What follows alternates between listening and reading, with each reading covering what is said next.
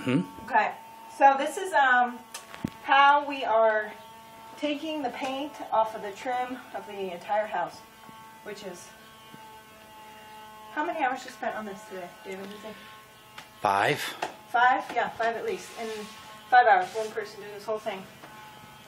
Just today. Just to show you, this is a heat gun and um, what is this? a scraper, a Mhm. paint, paint scraper. Okay.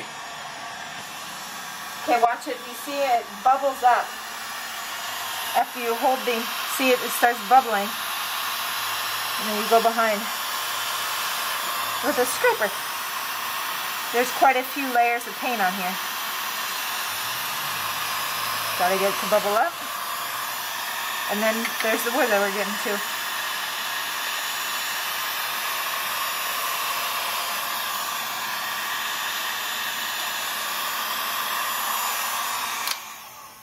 And hours and hours of that. We'll have a nice, beautiful wood. It'll look just like this French door right here. But lots of man hours later.